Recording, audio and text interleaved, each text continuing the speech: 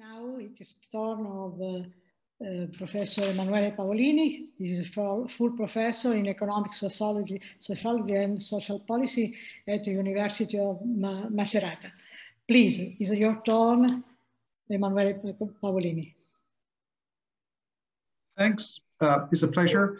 Uh, the presentation is going to be, uh, you'll see it in, in a short while. It doesn't relate uh, to the COVID pandemic, but of course, some of the mechanisms we are discussing on how to link household characteristics, behaviors, and potentially schools uh, behaviors and choices and inequality and education inequality can become even stronger uh, when we consider what's happening right now. So in this respect, what Professor Boeri just told us fits uh, really well as a problem uh, along with what I'm going to uh, describe and discuss with you. Um, I'll share my presentation. I hope you can see it. Um, have to do it. I hope uh, you can see it, or is it too small? We do, we do. We do, okay. small. Okay. Let's say I'm trying just to figure out if I can do it uh, differently and show it. Uh, sorry, um, let's do it like this. So even if it's a bit not as nice, but at least I think you can see it better. So um, the title is misleading in the sense that the title is, is, is framed in a positive way. So how the education system can might limit social inequalities in relation to education inequalities, whereas the paper is really about what schools uh, should not do in order to foster uh, social uh, education inequalities. Um, our starting point sorry, there are problems.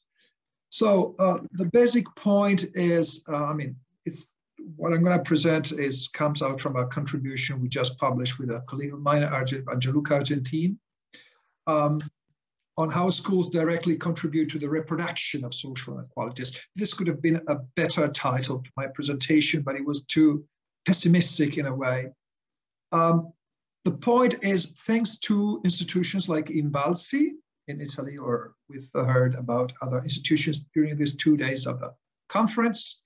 Um, we finally have the chance to study micro mechanisms about social inequalities related to education to an extent which we are not able to do until a few years ago, at least, at least uh, for the Italian case.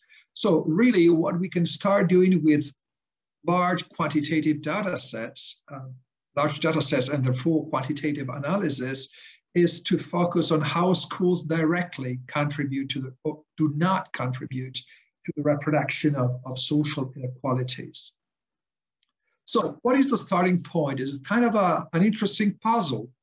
Uh, in the last century, if you want, in the last 70 years after the Second World War, we saw a massive increase of school participation rates at least in industrialized countries, uh, an increasing number of hours and years spent at school for young generations, large amount of public investment in education. Unfortunately, slightly less, to use a euphemism in the Italian case, to compare, compared to other countries. But even if we got all this good news, which is, which are of course good news, uh, we see substantially a persistent uh, social inequality in education phenomenon um, in, in many countries and in particular in Italy. Um, either if you measure it in terms of students' performances, school performances, or the type of education level, educational level attained. Um, so I'm talking as a sociologist or an economic sociologist. Uh, usually, uh, in, in economic sociology and sociology more in general, when you refer to uh, the effects of students' social backgrounds, um, you refer to what are called primary and secondary effects. I'll show them um, in, in, a, in the next two slides. So usually here the focus is to understand how much uh, students' social background, uh, in particular their, their families, um, play an important role in explaining what happens in terms of educational opportunities, uh, class-based inequality, and the reproduction over time. Now, most of the literature uh, in the last 30 years, 40 years, um, quantitative research on this topic among sociologists focused on two types of effects, what are called primary and mostly secondary effects. Um, in the last five to 10 years, there is an increasing literature looking at what, uh, what they are called in the literature tertiary effects. What do we mean by these concepts? Primary effects, um, inequality in education achievements, okay? So these are the effects linked to those characteristics of students' social background that have a direct influence on their education performance. So home environment, health and nutrition, economic, cultural, and social resources. Oh, by the way, if we refer to COVID, uh, I don't know how many of you were, were here this morning on, on the conference this morning when we heard the Ofsted uh, presentation uh, from the Ofsted colleague presentation. Well, one shocking, if you want, one shocking result of the COVID is that it reminds us that there is a part of the Italian uh, youth population which gets its most important um, nutrition uh, meal uh, at school. So the fact that we had a lockdown uh, did not just have an impact on education, but it had also a direct impact on health. And again, that was one of the points Tito Boeri raised uh, in one of his slides. Um, so anyway, uh, those who study primary effects look at how directly uh, the, the, the, family and the households uh, students belong to, the home environment, has an impact on their education achievements, so how good they fare at school. Um, this concept, though, is quite related to another uh, concept used in sociology since the 70s, which is cultural capital, the way Bourdieu defined it, which is slightly different than what we would define in economic, in social economic terms nowadays, um, human capital. He refers, as you say, as you see here, uh, to the idea that students from more educated or highly educated families tend to incorporate uh, cultural resources and display them in the interaction with teachers, and that gives them, in a way or another, a, a reward. So primary effects uh, are important. Secondary effects are the main thing that has been studied for a long time in, in social stratification, um, sociological studies. Uh, secondary effects refers to uh, inequality in education choices uh, at turning points in, career, in the career, education career. So transition from secondary to tertiary education, or where you have a, track system as the Ita uh, Italian one, um, what type of upper secondary school you choose and how much uh, your social and, and education and, and family backgrounds influences uh, the type of choice you make. Um, again, being careful and taking into account differences in students' achievements, okay? So secondary effects are stronger when you see that two students with a similar student's achievement level choose different uh, career paths, educational career paths uh, in terms of going or not going to a university, choosing a certain type of school, a lyceum instead of a, a professional um, school and so on, uh, or a VET program, depending mostly not on their achievement, but on their family background, social background. Um, then we've got tertiary effects. Uh, this is the, the, the the definition you would find in the recent literature that has studied the phenomenon. Um, as I will show you later on, um, we used a, a, kind of a broader definition of tertiary effects, but what Esser, for instance, uses is uh, this idea of variation in teachers' attitudes and behaviors, quote, in the institutional sorting process through their expectations, evaluations, and recommendations toward pupils and students with different social backgrounds. So the idea is teachers' attitudes and behaviors are shaped by students' social background, uh, might be shaped, sorry, by students' social background, and they might provide feedbacks and they might behave differently depending on the students' backgrounds. So in, the, in this kind of a definition, um, teachers play a, role, a potential direct role in fostering inequality in education attainment. Now, what has done empirical sociology mostly so far? But again, if you look at this conference uh, in the in single stream sessions, you'll see there are several papers that study what we call tertiary effects, okay? But mostly until recently, until a few years ago, empirical sociology on education inequality, adopting a quantitative approach, um, used mostly to focus on secondary effects. Why? Well, two reasons. First, uh, previous research was not too focusing on tertiary effects, and uh, some of the researchers find, uh, found out that secondary effects are usually more important than primary effects in terms of explaining variation, at least. And the main other point is that primary and tertiary effects were not too much studied because we did not have enough available data to test, to test hypothesis or functioning of this type of effects. So data limitation, data availability limitation uh, was uh, a big problem in order to study primary and especially tertiary effects um, in school and in, in education inequality. What do we do in, in, in our research with Gianluca and other colleagues? Well, we, we take the Esser definition of tertiary effects, uh, but we broaden up the definition. Uh, so when we talk about tertiary effects, we more in general refer to all mechanisms reproducing inequalities of opportunity within the school system. So it's not about just teachers, we are very interested to look at how head school, I mean, school uh, masters, uh, principals, however you want to define them, um, can strategically behave to try to reduce inequalities or with their actions increasing the chance of reproducing uh, education inequalities. And the other point is when we look at teachers, we don't just look at uh, attitudes and I mean their attitudes and behaviors towards students, but also a, a, broader mechanisms of allocation of teachers' quality to students uh, being fair or unfair, depending on their social background.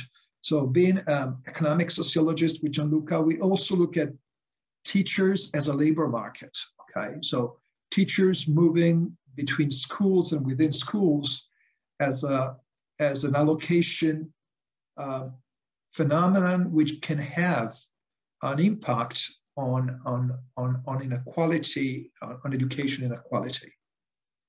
Um, the scheme I show you here practically tries to synthesize what I'm telling, what I've been telling you. So you've got students' social origins on the upper left part of the, of the, of the scheme.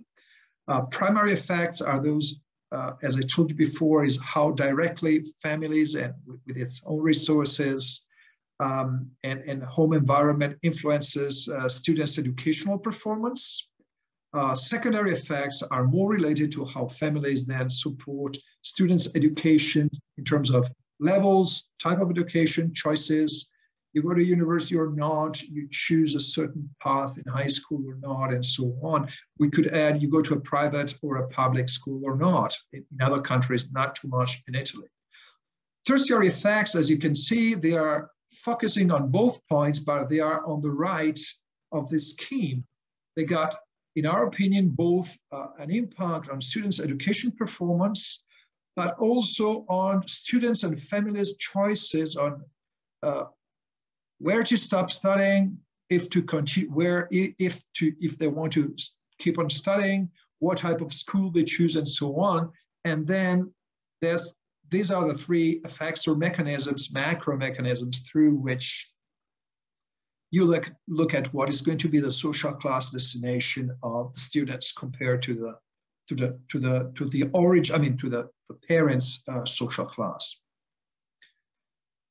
Now, um, as we were saying before, uh, large-scale microdata on students' achievement and school performances are making us very happy as researchers because we can study a lot more primary effects than what we did in the past, and especially we can study a lot more tertiary effects.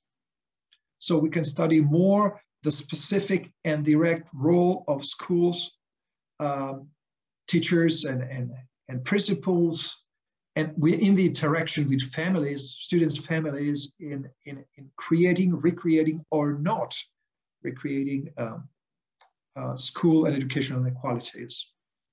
So there is a big uh, chance in front of us uh, to, to improve our knowledge. I'll show you some of the results of the, the analysis um, we've done in general terms, but of course, um, I'll be more than happy to, to show you more detailed results on, on some of the points I will raise just shortly now.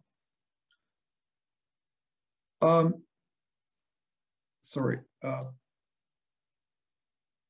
in, in our research with Gianluca, what we did is that we focus on micro mechanisms. I mean, this is something be, which has become increasingly common in part of sociological analysis as in economic analysis.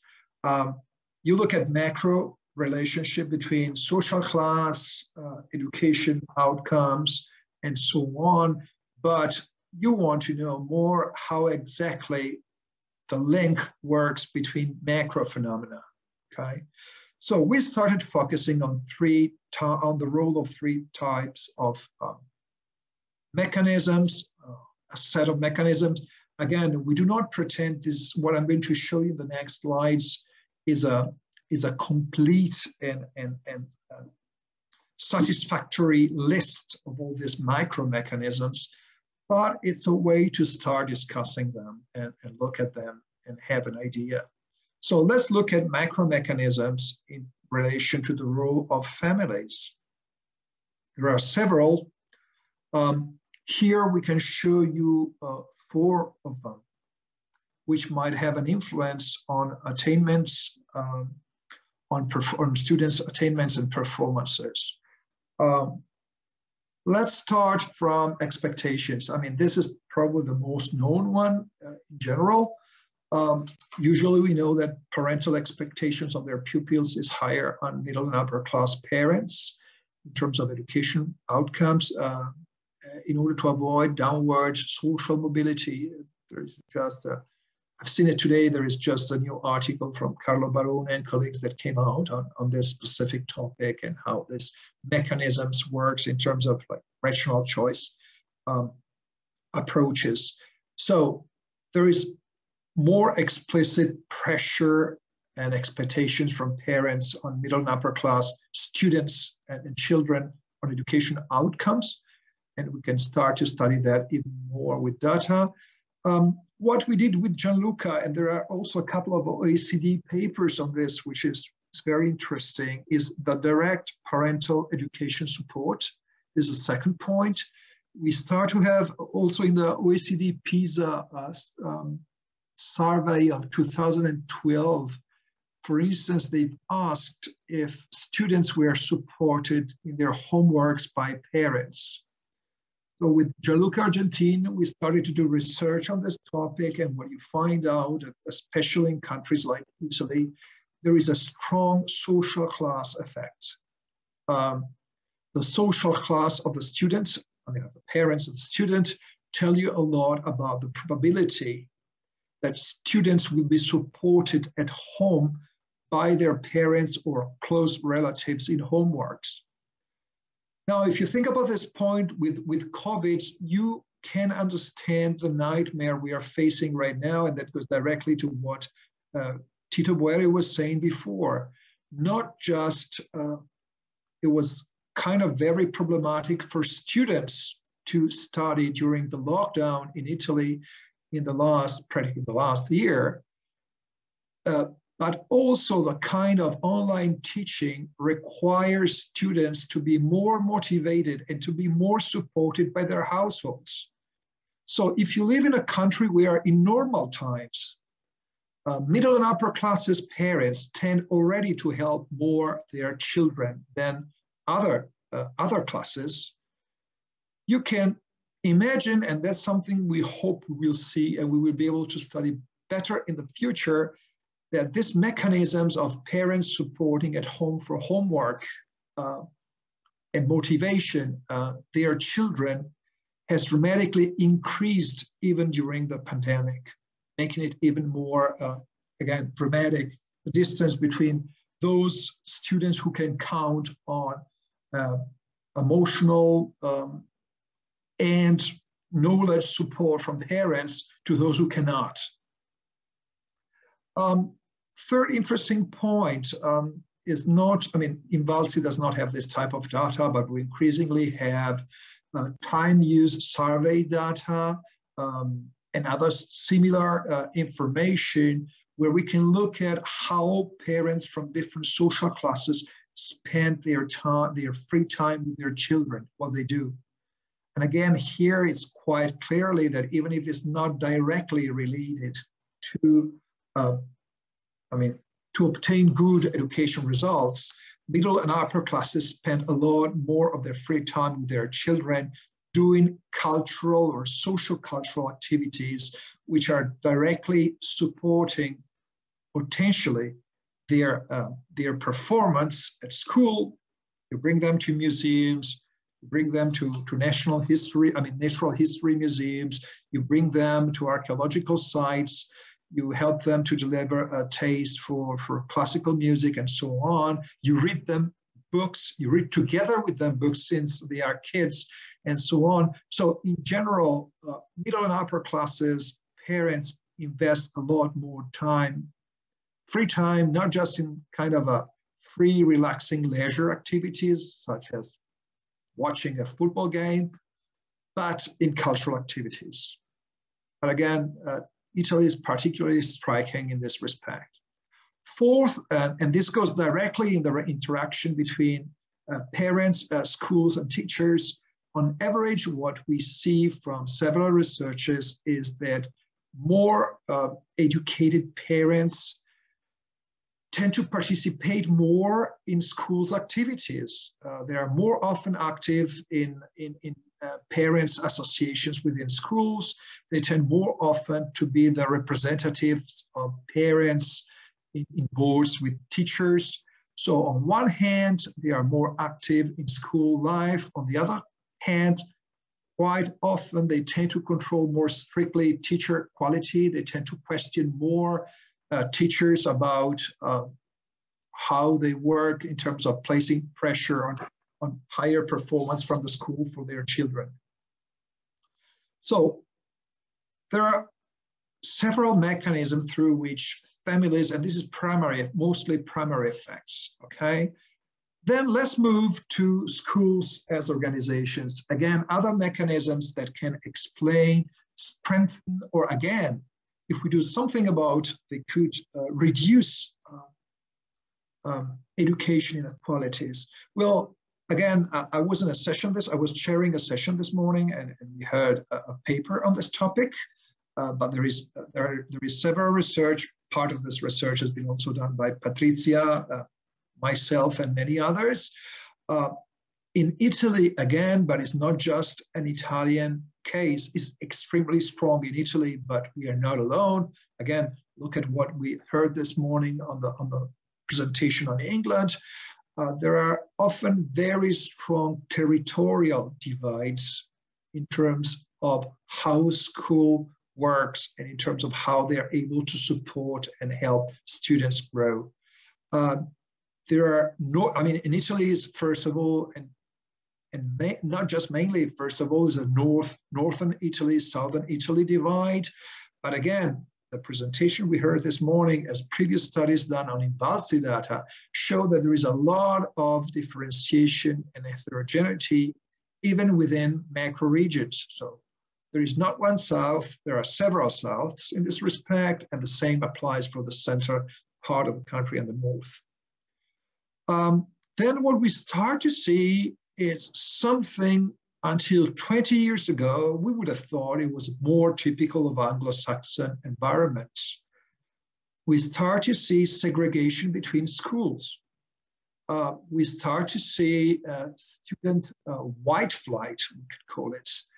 Okay, so um, you start to see using, for instance, INVALSI data with geo, geo referentiation, that uh, it's higher the likelihood of middle and upper class, especially upper class students, to move to a school they think is better than, than the closest one they have.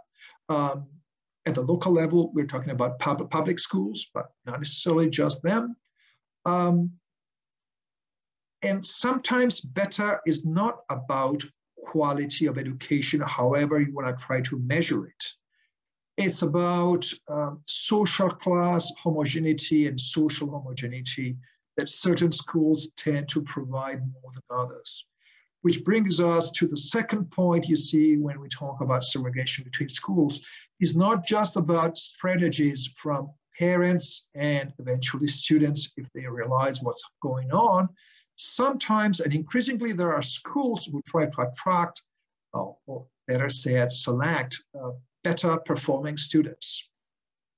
So there is an increasing uh, amount of empirical findings that show that part of the school systems try to send messages and whenever it's possible and they got uh, freedom for it to attract a uh, certain type of students instead of others. We look at social class, but of course, um, ethnic back background uh, works potentially quite well in, in relation to this topic. Uh, in the Italian system, especially when you look at primary school and lower secondary, we should be kind of a universal school. So everybody just goes to a class no matter what. What we found with the data, and again, this is also thanks to INVALSI because INVALSI developed some indicators to measure it. Um, we also find a phenomena of within school segregation. So the allocation and sorting of students among different classes uh, depending on their social background, or if you're lucky, uh, not on the social background, but their previous uh, school performance, which, by the way, we know, of course, that a good part is related to social background. So either they do it directly on the base of social backgrounds or indirectly on the base of uh, students' performances. INVALSI has shown us that many schools, not all of them, again, we are not talking about here mechanisms that take place to the same extent everywhere. Okay, this is a variable, it's not a constant. And that's why it's important to discuss about it and then discuss how we could do something about it. Teachers' mobility across schools. Again, this matches, if you want, the segregation between schools mechanisms. Um, principals, principals to different extents uh, are willing to attract or retain certain types of teachers which are considered good for a, a given school and, and, vice versa.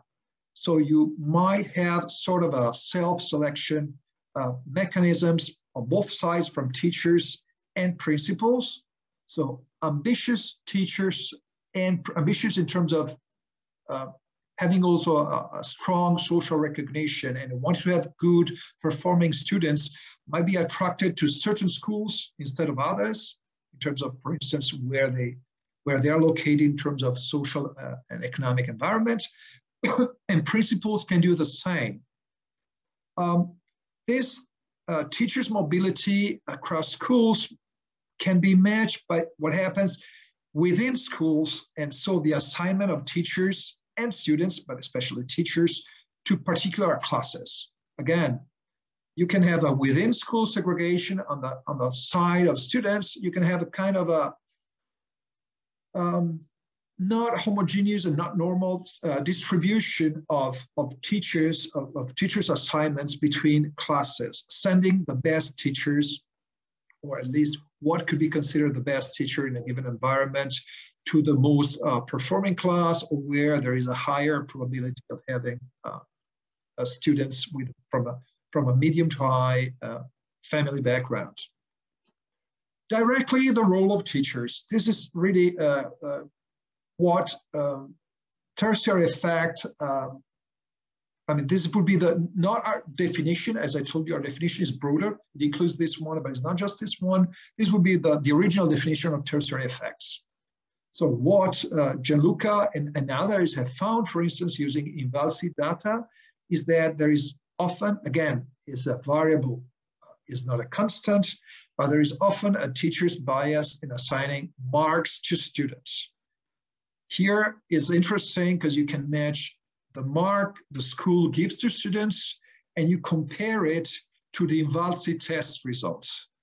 And what it comes out is that often, depending on the social class, depending on other characteristics of the student's social background, two students uh, with similar INVALSI test results get different marks depending on their social class. So if you come from an upper class or a medium upper class, you tend to have controlling for your performance on the on the on the INVALSI test a better mark, a higher mark, uh, which of course, as we know in the in the in the more uh, psychological literature on this phenomena, it has a it can have a, a, a reinforcing effect. Uh, it becomes a kind of a self-fulfilling prophecy. I mean, if you tell a student he's not too good, uh, because it doesn't come from a middle and upper class, uh, he might start thinking, or she might start thinking, she's not too good, and vice versa. The same, again, has been studied to teachers' recommendations on what type of upper secondary school tracking, uh, upper secondary school uh, they should choose. And again, what we find using, again, INVALSI results is students with similar INVALSI results tend to have often different advices uh, and teachers' recommendations on what type of high school to go through, to go to, not depending on their INVALSI test uh, result, but on their social, uh, socioeconomic background. And lastly, there is a, a, there are studies trying to look at how interactions among teachers and students take place in classes and how sometimes teachers can interact, uh, providing more encouraging and positive feedbacks to students depending on their social class. I realize I'm running out of time, so apologies. Uh, overall, so again, why am I saying these things about Italy? Well, because Italy, uh, formally, at least until the end of lower secondary school, should have a very universal school system. Uh, we don't do early tracking as in Germany. We don't have a very strong private sector, private school sector, which could, again, uh, divide students on the basis of public versus private. So you would expect that at least before high school, you shouldn't find too much inequality. But what we found so far, and it's just the beginning of this type of research uh, stream, is that if you go, as, as write here, uh, beyond the surface, uh, you find a lot hidden mechanisms that are at work. So conclusions. Um, we can use uh, this type of macro mechanisms uh, to start studying better what happens in school. There are many others which should study. Quantitative data, new quantitative data, new tests, standardized tests as the INVALSI ones, allow us to do a lot more things than the past. For instance, as I said, compare um, students' marks, uh, which are given by teachers with, with uh, with, with INVALSI tests. To do what? Of course, this is not just research. I mean, the idea is that, of course, it's good to do research on these topics if you're interested into social inequality or interested into education system. But the goal, of course, apart from that, is what we call public sociology, but you have to use the words. It's about trying to find ways to reduce the strength of these mechanisms, reinforcing um, the transmission of inequalities, uh, of educational inequalities from one generation to another.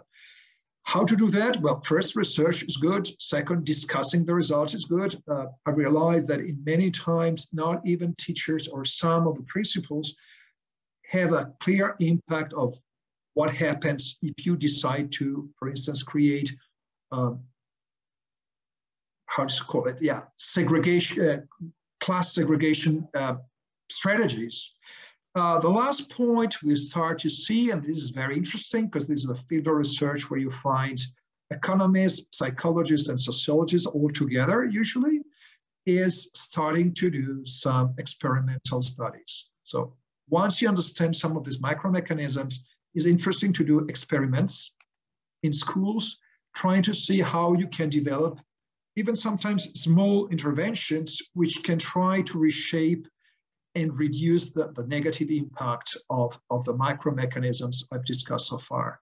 Um, apologies again for being slightly too long in my presentation. Thanks. Thank you, Professor Pavolini, for your speech and for stressing how many aspects influence inequality in and out of school. Thank you very much. Now, time for question. Uh, I don't see anything. Any question?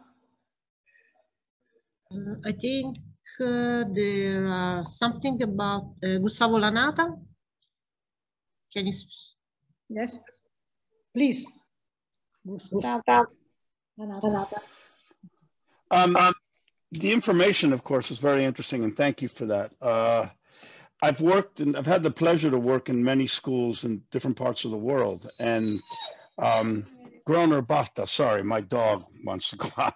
Uh, he doesn't pick the best time. Sorry, what's the name of your dog? Uh, Groner, Groner. Okay, mine is Groner. Cleopatra, and she's right here with me as well. So don't worry. All right. No, but I, I guess the information, as strong as it is, have you come up with any suggestions or have you collected suggestions of how to change that? Because I worked in a lot of schools and what you're saying really hit home. And in fact, I was one of those kids, except that my parents were very educated. But my wife, for example, by the sixth year of school, and she went to what you guys call private, but what in England we know as public. Um, to a school by the sixth the sixth year her parents couldn't help her with her homework. She had to go out and figure out all this stuff herself. So what can we do? Or at least what direction may we take? And thank you for fielding my question. Uh, thanks. Well, um, I can start providing, I mean, we need a long set of answers. So for instance, when I was uh, asking what uh, Professor Boeri thought about it, full-time school, uh, the American or the British, the Anglo-Saxon way, so you go to school sometimes until three or four in the afternoon, and then the school organizes, that's the American way, uh, if you want, organizes also post-school recreational sport, uh, cultural activities. I think that is one of the way forwards. The Italian system relies too much on students doing homeworks and, and uh, studying by themselves, which was good as long as there was a, I mean, I mean, it's, it's very bad to say like that, but the system worked as long as you had a lot of people dropping out of school when they're, they were 14 or 15. But in a world where you really want to have students studying as much as possible and, and learning as much as possible, um, you need to have more time spent at school with professional support. Uh, perhaps uh, middle and upper classes children would not need it, but the others, yes. So one thing is we should in that term transform our high school and whole school system in terms of how much time you spend at school uh, more toward an Anglo-Saxon model. Um, we should, and, and that, that is, is not just about, just about time, it's also about how you teach and, and the fact that uh, in a way, uh, schooling itself and interaction at school should help students to learn. Um, I would use a word that is inappropriate in a way, but defamiliarize, defamiliarizing the role families play in supporting them in their knowledge, which means that, of course, parents are free to do whatever they want and help. I mean, if somebody would tell me, stop helping your daughter to improve her human capital skills, I would tell the person, you're crazy and shut up. This is my private life. this is not the point. The point is a, a good education system should not implicitly uh, think that students, in order to learn, they have also to rely on their parents and private resources. Uh, but going to more uh, micro, uh, other micro choices. Um, well, for instance, um, I would change the way students are allocated within classes in Italy. With, with, with, uh, with other colleagues, we are starting to see that there are several kind of formal, informal mechanisms through which uh, class allocation takes place. For instance, when you shift from primary to lower secondary school. Middle and upper classes parents tend to push a lot more pressures on principals to get their kids stuck, sticking together in, in primary school, which then creates, without even perhaps wanting it, um, kind of um, segregation mechanisms. Again, Patrizia, Roberto, and others have shown in many Italian schools, you find a high segregation within each school. And I think it wouldn't be too hard to create mechanisms of just chance, random allocation of students by their last name or whatever in schools. Um, and so on. But this is putting like restraints. I think one of the important thing uh, it would be to, to show this kind of data a lot more to teachers because one thing I've learned doing uh, organization analysis, not related to school in general, is that if an organization fails in, in, in delivering a function, it's not necessarily because people are evil. There are automatic mechanisms, okay? So the, the shocking things I've seen in relation to some of the micro mechanisms we, we described in the paper is that teachers sometimes are not aware of the, of the, of the consequences in terms of inequality that certain types of behaviors that they take for granted can have. So just having the chance to discuss with teachers and principals, um, it can be an important first point in uh, yeah, informing and, and making teachers and, and, professionals in school systems aware that there are uh, social consequences in terms of social inequality consequences of behaviors that apparently go in another direction. They are not related, but they do.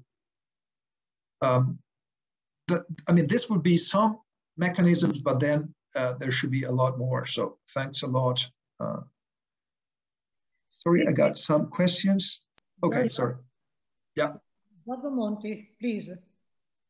Yes, thank you for the presentation, first of all. And uh, since we're talking about somehow about parenting style, right? About how parents, well-educated parents, tend to pressure more about on teacher quality and so on. This, this behavior by well-educated parents, do, do, do you study if it depends on other characteristics of the area where they live, for example, inequality or returns of education to education of the, for example, I'm thinking about the work by Zilibotti and the, about parenting styles. And they, from their cross-country analysis, they, they see that where the inequality is low, parents tend to, to pressure less and to be more, more permissive. And also the same is where returns to education is, is less, uh, is less high. uh, so I was wondering if you, you studied this kind of relationship between well-educated parent behavior and, and uh, parenting style. So no. permissive versus. Uh, no, but uh, thanks uh, Giorgio, I think is a, is a very good idea. Uh, one thing we found for Italy so far, which is interesting, but it doesn't go in the direction that you look at, that uh, we will have to look at, I mean, we found, we found it that there is an increasing uh, trend going on, which is the role of mothers compared to the, in the last 20 years, mothers are increasingly playing in the couple, I mean, among the parents, if there is a couple, this role of the kind of a watchdog of their edu children education, uh, which if you're Italian, you think is a typical stereotype. I'm not discussing the stereotype. I'm just saying that if you look at, for instance, several data, they show that increasingly are the mothers in charge of uh, supporting and, and, making decisions uh, for, for, their children in terms of day-to-day support in education, um, putting pressure, which is a, a, phenomenon interesting in itself. But thanks again for, for the suggestion. It's going to be interesting to, to add uh, the type of analysis you propose. Thank you. Thank you. If I look at uh, Ottavio's, um, yes, that's exactly what I'm trying to figure out if we can study with Invalsi data. So I'm smiling looking at Patricia because she heard uh, Ottavio's point uh, from my voice probably 10 times. Uh, for those of you who are not familiar, what, what is, if, if I understand correctly, what Ottavio's research is suggesting is that in primary school, practically that all classes the same. It should be the same in lower secondary school, but in lower secondary school, you can have some choices.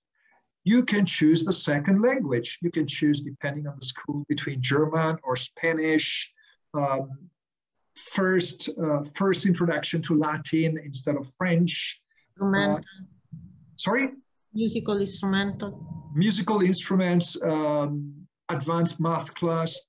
So what I really like to do, and let's hope Invalsi will help me in that, is that really this type of specific classes are not, I mean, they got a, a again, talking as a sociologist, they got a, a manifest function, you know, I want my daughter to learn how to play violin. Okay. But then I think they got also what is called, what Merton used to call a latent function. Uh, take music, okay. In order to apply for music, it's, I mean, it's more likely that somebody applying for music is somebody coming from a family where they've learned to appreciate music and perhaps they've spent time playing an instrument. But that's highly related to social class. Or if you want to at least the, the cultural education level uh, of parents. So some of these uh, possibilities uh, are in a way a mechanism through which middle and upper class parents can try to select the type of environment, class environment their children will have. You, are, you don't care if your daughter or son will play the violin. Perhaps they do it anyway outside school and, and they spend a lot more time and money on that. The important thing is that in the moment you send them to the music class, you're going to have a higher likelihood you're going to find other peers in the same class which have the same type of interest and the same type of parents' background. Mm -hmm. So the more you introduce in lower secondary schools this kind of differentiation opportunities, which indirectly um, can self-select students this might work. I mean, this is an hypothesis that I hope we will be able to test. This might be a way to, in a way or another, to create some sort of a, a intra-school uh, selection and segregation. Yes. yes. There is another question about Giorgio Santi. Can you speak, please? Giorgio Santi?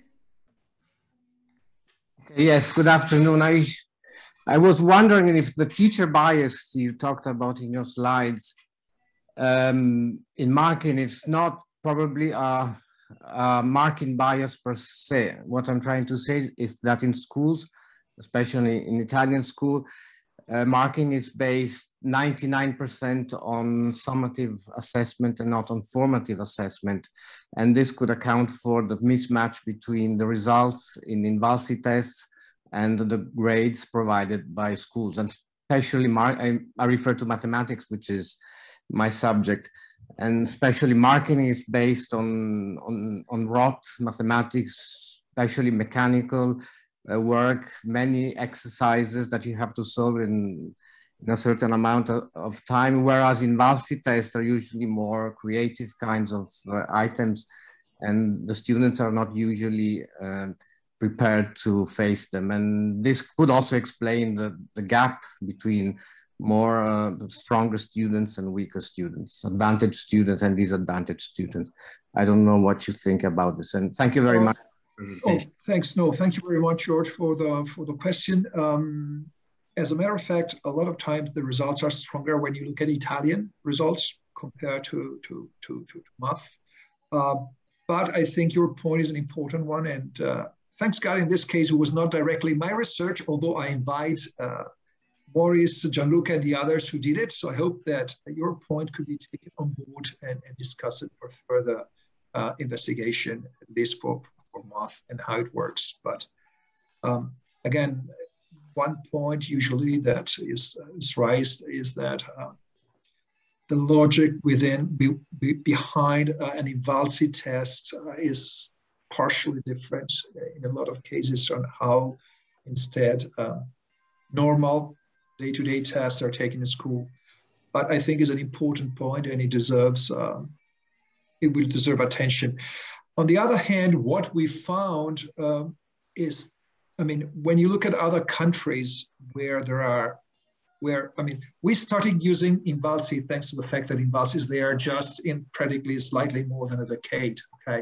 In countries with a longer um, tradition, quite often you can, you might find the same pattern. So there is something there. Uh, but again, I repeat, and this doesn't go to, I mean, it's the request for Patricia and Anna Maria and, and the others from Invalsi here it would be very important if we could try to find a more homogeneous or partially homogeneous test among small, a small set of countries running tests like the Invalsi one, so Ofsted and some other, so we could have a more grounded uh, comparative analysis on these mechanisms. Uh, PISA, OECD PISA is a great thing, but for instance, it could not help us um, in a lot of the micro mechanisms we want to study here. Uh, and it wouldn't, and it wouldn't help for, for several reasons, but I mean, how the sample is built uh, and how a sample is shaped is, of course, is not to the universe and so on. But your point is very important. Mm -hmm. hey, thank you very much. Thank you very much. Any, any other question? Uh, Gustavo, if I may give you just very short feedback and then I'll be quiet. Um, I agree with you. The point is that what we really need to know is to what extent. I mean, uh, I think that the macro mechanisms we are finding here uh, are practically found in any country. The point is we would need to have comparative data, international data, to see the extent. So for instance, the OECD data on homeworks was extremely interesting because the question about does your child, I mean, is your child helped at home by somebody? Uh, for instance, you had the same question for 70 countries and Italy after Shanghai was the second, I mean, it was the second highest country in terms of gap between higher educated and lower educated people saying, yes, I supported home my child. It was the opposite of Denmark. I mean, in Denmark, there were a lot of parents saying they help a bit their, their children at home, but there were no social class differences. In Italy, the group of parents saying, I help at home, my child was more reduced, but it was highly concentrated among middle and upper classes. So what about the United States? Sorry to interrupt because I'm interested in the United States because I worked there for many years. I don't live there now. I'm not like most people who, you know, I, I love the place, but I'm not always ooh la la Stati Uniti. Um, I had a lot of I was I had a lot of experience in the United States. Some of them very good, some of them very negative. And you know, in the states, you have that differential is extremely high. Mean, you have kids who basically live on the street. And I know for Italians or for anybody outside the United States, they don't want to believe that, but they do. And not just in New York and in Chicago and San Francisco. Um, and then you have people, parents who you express that, you know, their kids are, they're these super pupils that do everything. They're never home because they're always in some class or some sports team, and then they got to go to music, and then they've got to go to art. Um, so I guess that would, would really interest me. Um, I don't, um, I don't recall, of course. I mean, uh, for many, uh, we've done with this data and other research with two colleagues from University of Milan, Gabriele Ballarino and, and Matteo Piolato. We look at uh, geographical segregation. So how much there is a kind of a student's flight process. Um, so students choosing a school which is not the closest one to their to their house and choosing quite often for, for other reasons. You find it never to the extent of the US. So going back to your question, if you look about homeworks, I don't recall the OECD data. Of course, the United States were high, but not as high as Italy. But that's partially because the education system works in a different way. So partially in the US, you would need less if you send your son to a very good private school to be at home helping her or him, okay? So I imagine that there, the social class variable works more for Italy because we are comparing two different education systems where schools deliver differently uh, support to students. Uh, I keep on thinking that the, the US system requires less support from parents at home in terms of I mean, studying or supporting their children with homeworks. When I studied in the US, practically I had no homeworks. I was coming home, I arrived home at 5.30 after practice and seven hours of school and, and, dinner was ready at six. So really the system was not based on homeworks, which is totally different for, for, for Italy. Whereas if you look at other micro mechanisms, they are like, as I said, the one about uh, geographical mobility of students. Well, still Italy is not, and I would should add, although I'm a scientist, I should not. Thanks God, we are not any close to the US. You wouldn't find in Italy phenomena of people of a housing market uh, partially biased by people wanting to buy the house in the right uh, suburb in order to send their kids uh, to the right school, uh, not right school, to the right kindergarten. We, we, do not reach, we have not reached that level, but, uh, but it's present. So I would say, as I said, depending on the micro mechanisms, the US would be on the top of the, of the, of the countries in terms of how to create inequalities through some of these micro mechanisms. On others, not, but that depends on the educational design educational system design. What you just said about uh, the parental role is very important. Also, maybe factor explaining why many of the problems Italy has is in terms of the lower secondary school, because that's the level where you start having a lot yes. of work to be done at home. Yes. And, uh, you know, not always, uh, you know, the parents are, are yes. do that. And uh, and you clearly then you have all these uh, you know parental backgrounds coming out as being a, yes.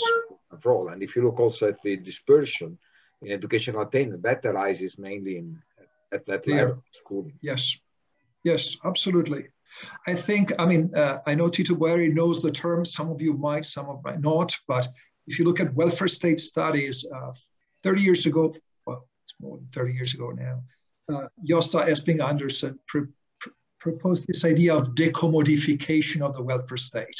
So the idea is how much a welfare state frees people from the risks they, they might incur in terms of income maintenance on the labor market. What I'm trying to think, T- T- uh, Tito, and I don't know if I'm going to be able, is that I would like to create some sort of index of defamiliation of education systems. So here there are also teachers in this meeting. What I really like to know is that, is there a way we can measure over time how much implicitly an education system relies on the fact that students, part of what they have to learn, they have to do it by themselves and with their families at home. How much of what is implicitly, of course, if you, if you ask that directly in a public uh, arena to, to, to teachers or, or to the Ministry of Education, they're going to say, this is an outrageous question. Of course, the school will teach kids all they need. But my impression is that, for instance, in Italy, there is an increasing implicit transfer of education uh, responsibilities out of the school system into private households. And that's where that's where uh, then uh, household uh, cultural and economic resources come into play. We do need to know a bit better in a comparative terms how much really we we put on the shoulders of children of, and students. Of course, in a way, it's good. Part of, of learning is you do it by yourself. There is not somebody telling you how to study exactly everything. But uh, part of the lower classes are left behind in a system that is not supportive enough. We have another, the last uh, question, yep. Cristina Stringher. Please, Cristina. Oh, well, um, I think we, we had very nice ideas from your presentation and I work at Invalsi um, on, um, on, on, on school improvement, let's say school self-evaluation and school improvement. And I believe we could add several other factors to, to those that you have already listed affecting the segregation effect and inequalities in schools.